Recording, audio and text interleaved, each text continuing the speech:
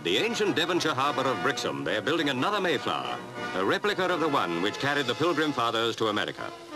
Holidaymakers attend a shipyard service alongside the half-completed vessel, with girls in pilgrims' costumes acting as ushers. The service is non-denominational, commemorating the original Pilgrim's quest for religious liberty and tolerance. The old Pilgrim's Father's house has been copied too, and it's inspected by retiring LCC chairman Norman Pritchard and his wife.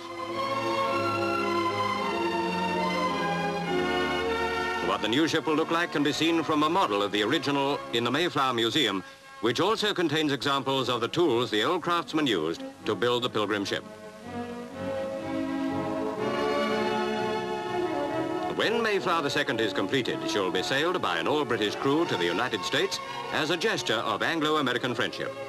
She'll be a sturdy craft, for as one of her company has remarked, we've got so used to seeing those hideous galleons on Christmas cards that we forget the old shipwrights knew what they were doing when they built a sailing ship 300 years ago.